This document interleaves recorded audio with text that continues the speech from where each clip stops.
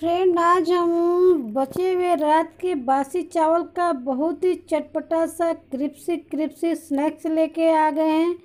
जो आप चावल बच जाता है और उसे आप फेंक देते हैं तो इस वीडियो को, इस रेसिपी को देखने के बाद आगे से आप ऐसा नहीं करेंगे, आप इसका यूज़ कर लेंगे।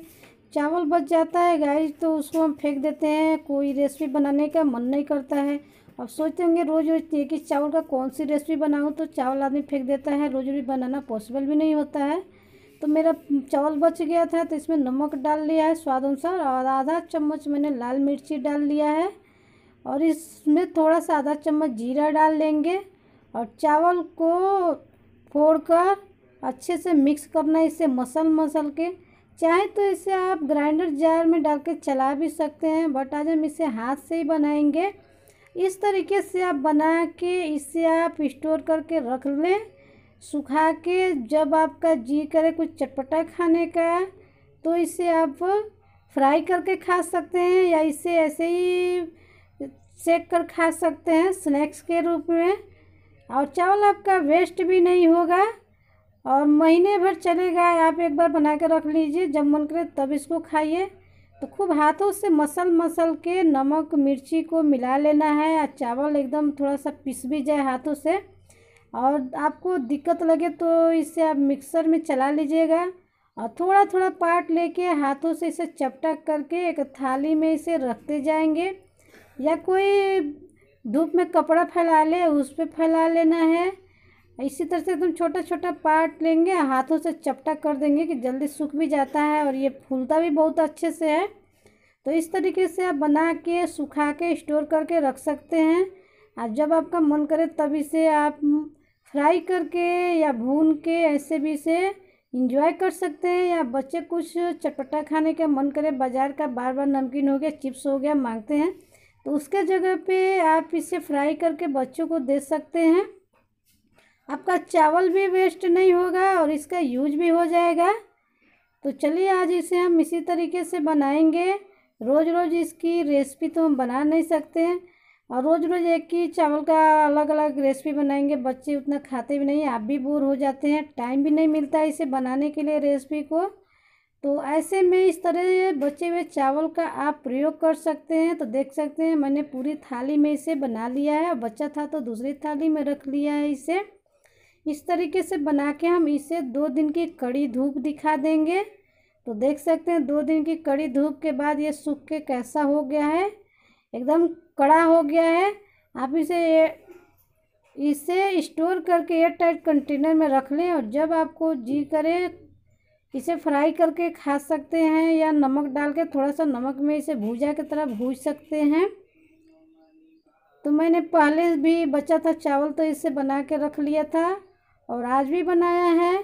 ये अगर धूप कड़ी होगी तो आपका एक दिन में रेडी हो जाता है, वरना दो दिन की धूप दिखा ले तो चलिए इसे फ्राई कर लेते हैं। तो इधर कढ़ाई में हमने तेल रख दिया। गर्म होने के लिए तेल अच्छा गर्म होना चाहिए और ज़्यादा तेल में इसे फ्राई करेंगे ना गैस तो डालते डालते एकदम ये फूल के ऊपर आ जाता है, एकदम क्रिप्सी क्रिप्सी करारा करारा। मैंने थोड़े से तेल में तल के आपको दिखाया है बट लेकिन आप इसे ज़्यादा तेल में तलेंगे और तेल एकदम हाई गर्म हो तो डालते डालते ये एकदम उग जाता है, फूल जाता है, एकदम क्रंची हो जाता है और टेस्टी तो पूछिए नहीं, इसमें नमक, मिर्ची, जीरा मिला है तो टेस्टी तो ये ऐसे ही है। तो गाइज़ अगर मेरा वीडियो पसंद आएगा तो लाइक कर दीजिएगा कमेंट भी कीजिएगा और अपने दोस्तों में शेयर भी कर दीजिएगा।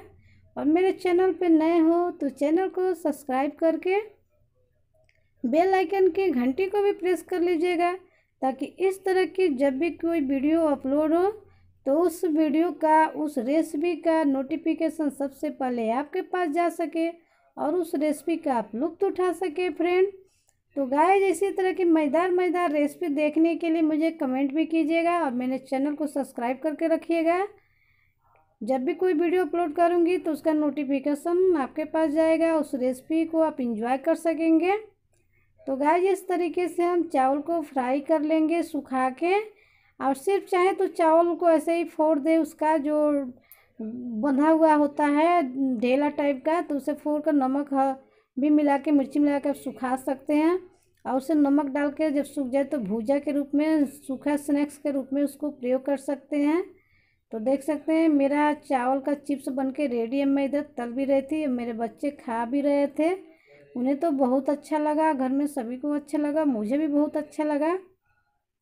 तो इस तरीके से सारा अपना चावल का जो स्नैक्स बना के रखा है, उसे फ्राई कर लेंगे और इसे और चटपटा बनाना हो तो थोड़ा सा इसमें ऊपर से मसाला और डाल लेते हैं। तो चलिए डाल लेते हैं ऊपर से मसाले थोड़े से चटपटे और बनाने के लिए। तो इसमें हम चटपटा बनाने के लिए इसे थोड़ा सा डालेंगे, आधा चम्मच भुना हुआ जीरा। भुना हुआ जीरा डाल सकते हैं, मैगी मसाला डाल सकते हैं, टमाटो पाउडर डाल सकते हैं आप। और आधा छोटा चम्मच लिया मैंने काला नमक नमक इसमें पहले ही डाला है, बस स्वाद के लिए अलग से। और थोड़ा सा हम डालेंगे इसमें लाल मिर्ची पाउडर, लाल मिर्ची पाउडर मैंने उसमें भी डाला है, इस बात का ख्याल रखिएगा, ज़्यादा तीखा ना हो जाए। और चाहे तो इसमें आमचूर पाउडर डाल सकते हैं या जल जीरा पाउडर भी डाल सकते हैं। और इन सभी चीज़ों को डाल के अच्छे से मिक्स करेंगे। और मिक्स करके लीजिए रेडी है आपका चटपटा सा स्नैक्स आपके बचे हुए चावल का। इंजॉय कीजिए, खुद खाइए, अपने बच्चों को दीजिए। या इसे आप तल के चाय के साथ इंजॉय कर सकते हैं। जब भी आपको कोई चटपटा खाने का मन करे तो इसे तलकर चाय के साथ इंजॉय कर सकते हैं। बहुत ही कुरकुरा है और चटपटा भी है क्रिप्सी भी है। इस तरह से आप इसको तल के फ्राई करके और एक टाइट कंटेनर भर के भी फ्राई वाला भी हफ़्ते भर इंजॉय कर सकते हैं, वरना तो सूखा के इसे ड्राई करके रख के आप महीनों इसको इंजॉय कर सकते हैं। तो गाइज़ मेरे वीडियो को लास्ट तक देखिएगा, फिर मिलते हैं अगले नेक्स्ट रेसिपी के साथ। तब तक के लिए नमस्कार बाय बाय टेक केयर